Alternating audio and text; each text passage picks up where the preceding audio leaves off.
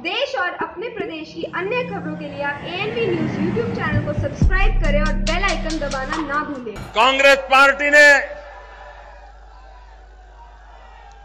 और उसके चेले चपाटों ने 60 साल तक इस देश में राज किया है।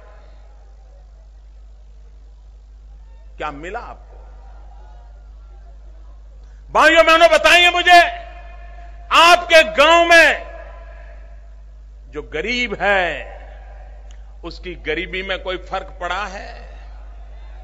साठ साल में उसके जीवन में कोई बदलाव आया है? जो नौजवान बेरोजगार है, उसको रोजी रोटी का प्रबंध हुआ है?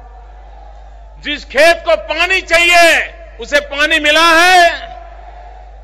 जिस बीमार को दवाई चाहिए, दवाई मिली है?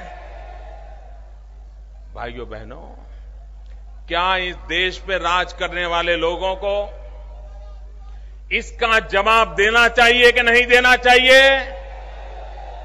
इन्होंने जवाब देना चाहिए कि नहीं देना चाहिए? ये जवाब देते हैं। पचास साल में हमने प्रगति की है, इससे कोई इंकार नहीं कर सकता। चुनाव के दौरान वोट मांगते हुए सरकार की नीतियों पर कठोर से कठोर प्रहार करते हुए और पुरानी सरकार की नीतियों में आलोचना करने के लिए लायक बहुत सामग्री थी।